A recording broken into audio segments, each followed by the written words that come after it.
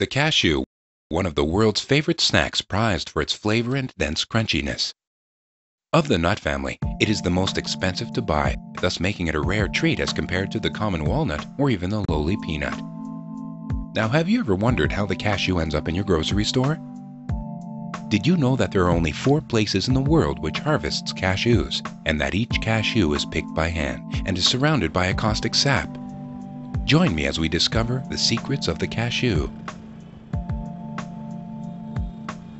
The cashew was discovered by the Portuguese in the 1500s when they invaded Brazil and were planted by early settlers along the east coast of Africa. Brazil, India, and African countries are among the top cashew producing countries in the world.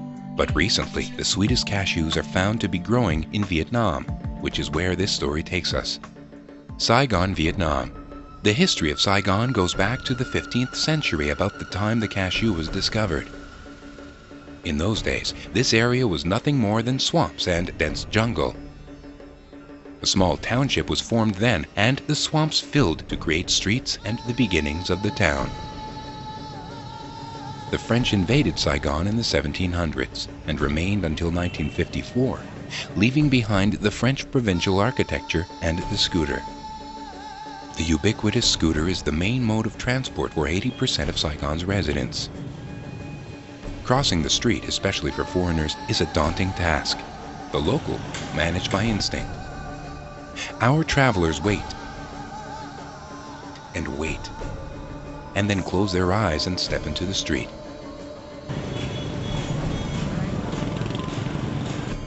They make it across safely.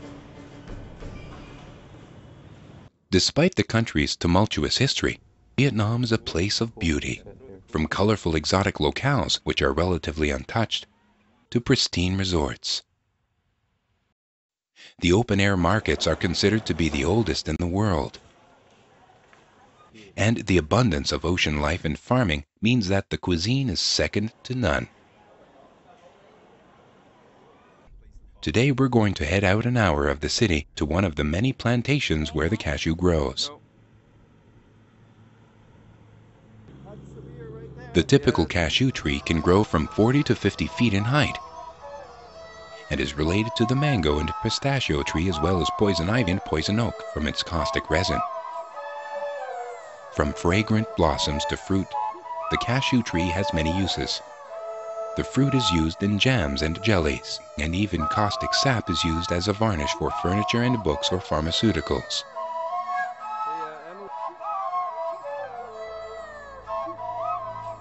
And the cashew nut. It grows on the end of each apple which comes in either a red or yellow variety. And then the apple ripens and then falls off of the tree and immediately begins to ferment. Workers get up at the crack of dawn to harvest from the ground before the temperatures get too hot. As they pick, the sound of falling cashew apples can be heard throughout the plantation.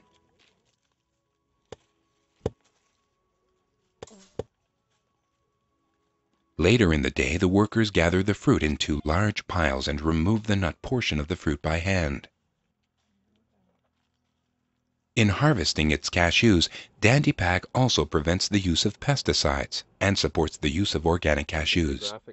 As much of the cashew plant is used for various other purposes, for it is not in the Vietnamese mentality to waste. The nuts are then put into large trucks and taken to transfer stations where they are weighed and then laid out to dry in the hot sun before being readied for shipment to processing stations.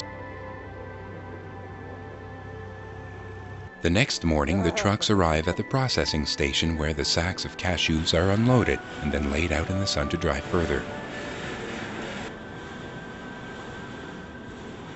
Workers pick through and remove any debris or unwanted cashews which dry for a few days. What? The cashews are then gathered up and left to soak for several hours before being superheated to 1400 degrees with steam. Why? As we mentioned earlier, the cashew grows inside a shell which contains caustic resin.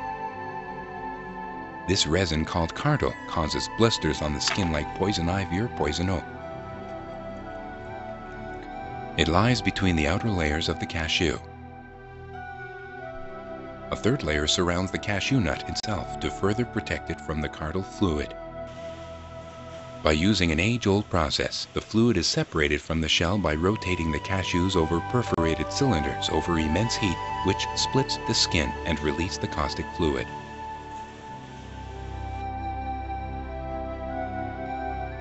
The next step is to remove the now hardened shell from the cashew.